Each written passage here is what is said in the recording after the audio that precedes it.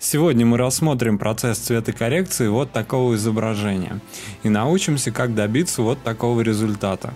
В этом выпуске мы затронем непосредственно цветокоррекцию и не будем говорить о грейдинге. Давайте повнимательнее посмотрим на нее. Мы видим проблемы в этой области. Баланс белого здесь нарушен и первым делом мы исправим его. Один из самых эффективных способов исправить баланс белого – это выделить какой-то белый объект в кадре. Например, этот. Я точно знаю, что он должен быть белым. Я кликну и на кривой автоматически появятся точки. Белая, красная, зеленая и синяя.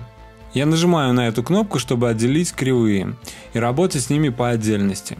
Например, если мне нужна синяя кривая, я нажму на B. Итак, мы должны выровнять эти точки в горизонтальную линию. При этом мы не двигаем точки вправо или влево, двигаем только вверх или вниз. Давайте я опущу синюю точку, сюда же опущу зеленую, и теперь я подниму красную точку, чтобы все три точки лежали на одной горизонтальной линии. Теперь давайте сравним, что было до и что стало после корректировки. Конечно, картинка стала выглядеть гораздо лучше. Что я сделаю дальше? Увеличу насыщенность и создам новую ноду. Снова кликну пипеткой по другой белой области, например, здесь. И снова я получу три точки. Эти три точки я снова выстрою в одну горизонтальную линию.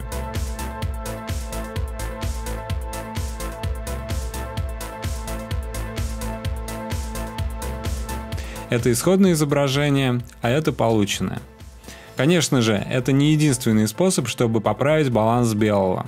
И мы можем использовать этот способ только если имеем чисто белый объект в кадре. Для этих целей, например, используется Color Checker или э, обычная белая карточка, которые помещаются в кадр для последующей постобработки.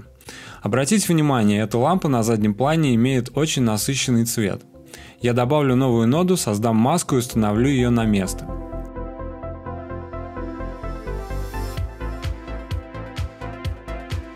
Теперь мне нужно убавить насыщенность желтого внутри маски. Перехожу в кривые, выбираю Hue vs Saturation, кликаю по желтому и опускаю вниз. Вот так. Теперь нужно протречить маску. Я перехожу в трекер. Но прежде чем работать с ним, я сделаю следующую вещь. Чтобы снизить нагрузку на компьютер, я вернусь к исходному изображению без цветокоррекции. Включу режим bypass вот этой кнопкой. В этом режиме трекер будет работать с каждым кадром изображения в исходном виде, не просчитывая все этапы цветокора, которые мы уже провели. Теперь я запущу трекер вперед. Далее установлю курсор сюда и запущу трекер в обратном направлении. Отключив режим Bypass, вернусь к изображению, которое уже было покрашено.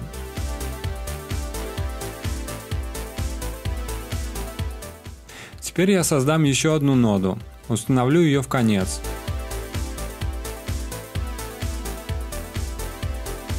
Перехожу в раздел Color, раздел Presets, в нем выбираю Chroma Dark.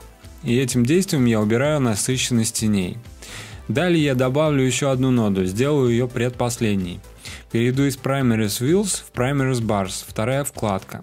Это небольшая хитрость в стилизации видео, чтобы сделать его чуть лучше.